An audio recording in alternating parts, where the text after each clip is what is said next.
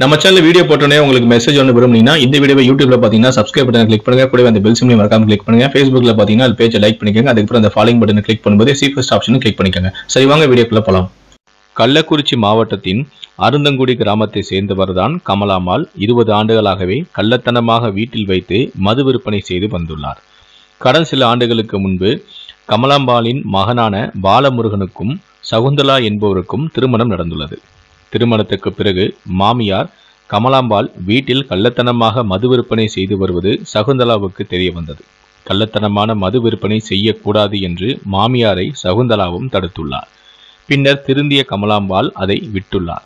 ஆனால் பொங்கல் பண்டிகையை முன்னிட்டு திருவள்ளுவர் தினத்தன்று தமிழகம் முழுவதும் டாஸ்மாக் கடைகளுக்கு விடுமுறையும் அளிக்கப்பட்டது.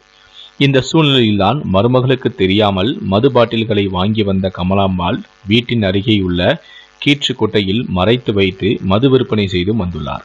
இதனால் ஆத்திரமடைந்த பொதுமக்கள் கமலாம்பாள் மது பாட்டிலை மறைத்து வைத்திருந்த கீற்று கொட்டையை சேதப்படுத்தினார்கள். மேலும் போலீசாருக்கும் தகவலும் அளித்தனர்.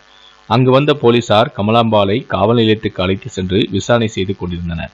இந்த சம்பவத்தால் அவமானமடைந்ததாக கருதிய சகுந்தலா வீட்டில் யாரும் இல்லாத நேரத்தில் தூக்கு போட்டு தற்கொலை செய்தும் கொண்டார். இது தொடர்பாக போலீசாரும் வழக்கு பதிவு செய்து தற்போது தீவிரமான விசாரணை நடத்தி வருகிறார்கள்.